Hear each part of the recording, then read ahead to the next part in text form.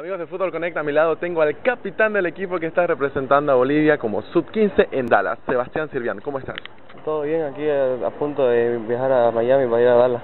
¿Listo ya con todas las pilas? Comentanos acerca del entrenamiento que han tenido para poder enfrentar esta copa. Sí, tuvimos cuatro, más de cuatro meses de entrenamiento duro con el equipo, un muy, muy lindo grupo, con mucha ilusión y sabiendo que no va a ser un torneo fácil allá. Sabemos también que ustedes ya tienen experiencia en torneos internacionales. Comentanos cuál es el caso tuyo, en cuáles has participado.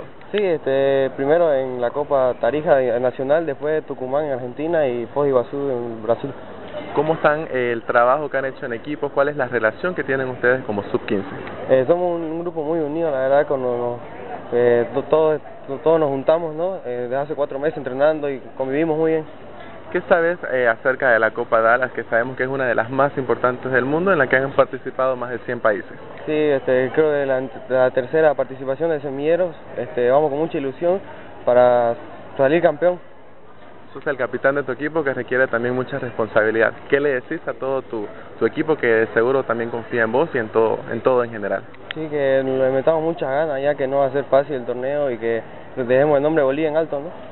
Muy bien, Sebastián, vamos a estar atentos a todos los resultados. Por favor, unas palabras a todo el país que va a estar atento a lo que ustedes hagan. Este, le prometemos, no le prometemos la gran, no le prometemos el título, pero le prometemos que vamos a dejar todo el alma y el corazón allá en, en Estados Unidos. Muy bien, Sebastián, muchas gracias.